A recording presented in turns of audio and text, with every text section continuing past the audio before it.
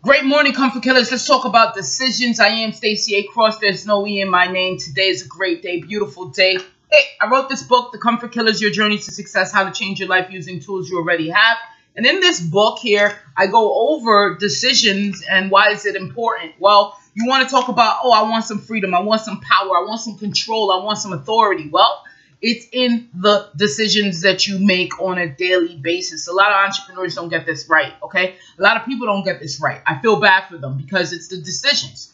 Uh, you have a choice. In the choice is the freedom, okay? You can go left, you can go right, you can go up, you can go down, you can turn off the light, you can turn it on. Those things are decisions. You can eat the bread, you cannot eat the bread, okay? You can drink the water, you don't have to drink the water. It's up to you. That's your personal freedom. Your that's your birthright is that you could control that decisions. There's a lot of people all over the world that really can't think for themselves, right? There's other countries and other places that have this dictatorship rule that says I'm gonna.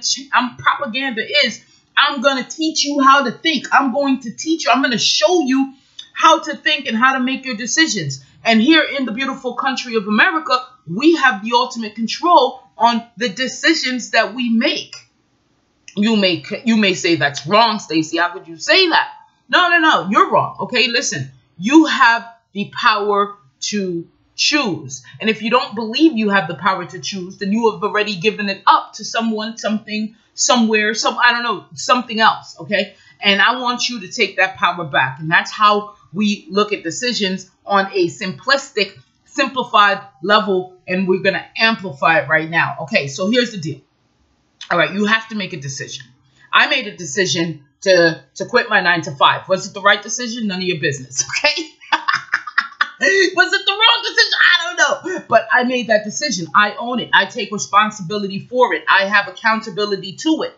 Okay, you make decisions based upon a lot of different things the facts that you have at hand, your environment, the people whispering in your ear. Okay, are they whispering the right things in your ear? Some people make decisions and regret it long, long after they made that decision. Why do they regret it? Because it turned out to be not what they thought it would be. And they are taking outside influence on things that maybe should pertain only to them. It's a personal choice. Now, in this personal choice, why I say you have freedom, the freedom goes with your decision making skills. Now, how do you make a decision? It's up to you. For me, I made a little system of how I make decisions, but I kind of threw that system out sometimes with intuition, right? With the gut feeling. You ever had that feeling you you you're like, man, I'm not, you know, I don't feel like going out today. And then you see on the news that something happened uh, at the place that you were going to go out, or you hear there was a car accident or something like that.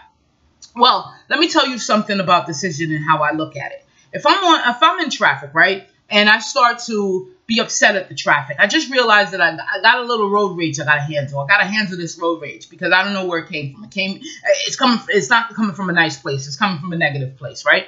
And then down the street, I see someone got pulled over, or I see some someone got in a car accident or a flat tire, and it's happened to me before where I got a flat tire, and instead of getting angry and full of rage, I said, "Man, maybe the flat tire was supposed to slow me down and stop me completely, so that I don't get in danger, or I'm not. I move, I remove myself from the danger down the street. I don't know what's happening down the street, but that's the way I think about it. Okay, that well, hey, listen." I chose to, to leave the house at this time.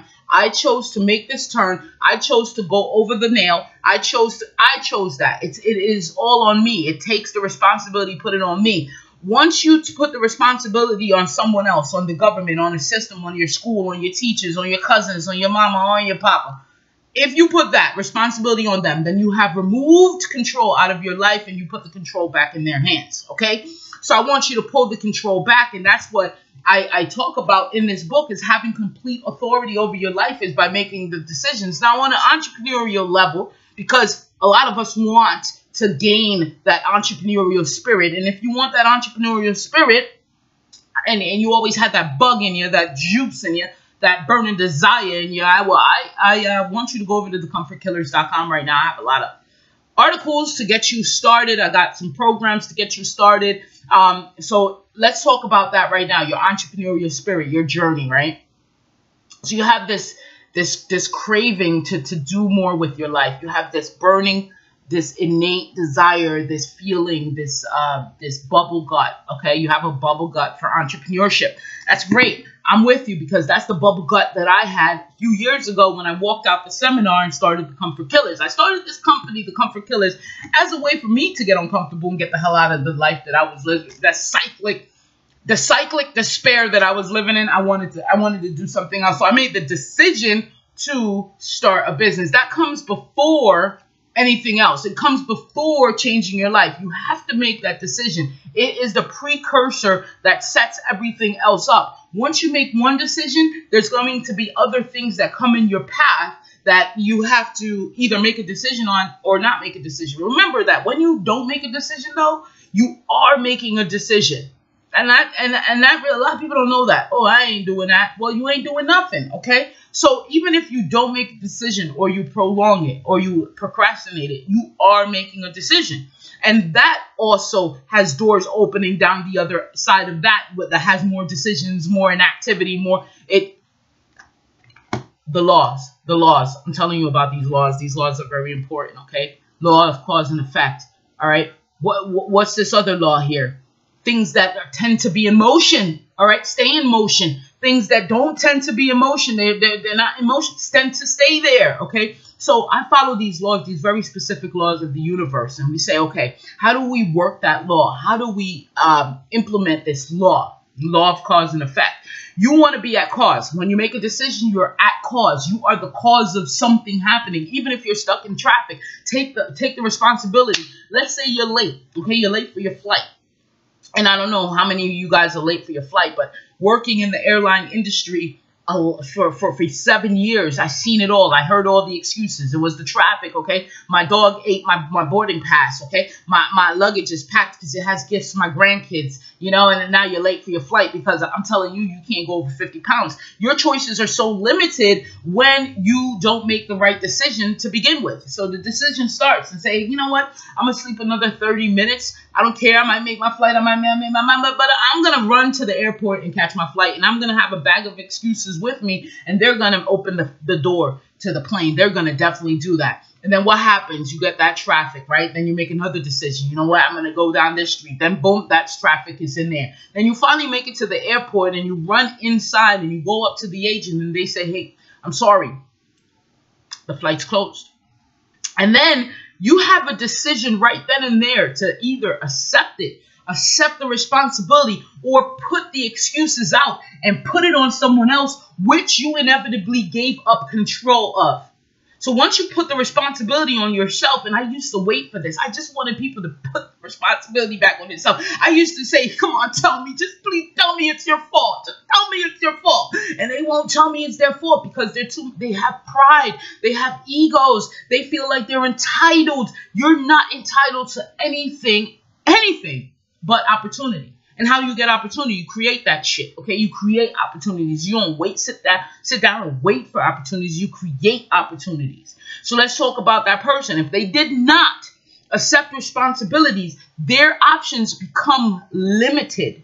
Okay, they have a limited view on on life. They have a limited view on opportunities. They don't see it. And their options, they just decrease like this. So instead of now we're talking because you're hitting me with all sorts of excuses, you keep going, you keep going, time is passing. Okay? Time is passing. Okay? Now the options are becoming very, very, very limited. I can't help you. You can't help yourself. No one can help no one. Okay? So what I want you to do is look at decisions on a simplistic level. And you wake up today, how many decisions are you making? How many decisions do you think that you're making, but you're really not making? Someone's making it for you. How many decisions are you subconsciously making that you think that you had no input in, but your subconscious is rolling on automatic? And just like breathing, you don't know. Hey, I don't have to keep saying, hey, listen, breathe. Stay, breathe now. Breathe now. Breathe now. No, we don't have to because our subconscious takes care of that there, right? Okay, so what I want you to do is get on a conscious level of this decision making process and pull back the control, pull back the responsibility, take the accountability. When things go right, you love taking the accountability. But once it goes wrong, once things are, ah, they ain't feeling too right, you, uh, oh, it ain't my fault, bro. That's not, I wash my hands of that. That's not me. Okay. But so that's the wrong attitude. And that attitude will keep you down a, a life that you don't want to live and you really are not aware. Okay. The awareness pieces is just removed. It's all out of there. So this is what I want you to do. Focus on your decision today. Take a notepad, paper, pen, the Comfort Killer Journal. If you have one, go to thecomfortkillers.com. Go grab one. Okay. Take that. And I want you to note all the things that come up in your head that you rationalize. Okay. That you reasoned with that you made excuses for. All these things are de decisions, okay? Even if you, ate, man, I should go take a shower, and then you're like, nah, I'll do that. That's a decision. Okay, that's a decision. Yeah, I should go brush my go brush your teeth. Okay, brush your teeth. I am Stacy A. Cross. There's no E in my name. If you want the complete package of the entire process from comfort to purpose, I suggest you head over to thecomfortkillers.com right now. I want to get you to purpose. My mission, my goal is to transform 1 million passionate people from comfort to purpose because I know purpose is the end game, okay? You want to have purpose because you can't go into business without it. You don't even know yourself. You don't even know why you're here on, on, on, Mother Earth, okay? You're just walking around wherever the wind blows, you goes, okay? So we can't have that, not no more. So that's why I created this company, the Comfort Killers, to help people move from comfort, passionate people, not just not not regular people.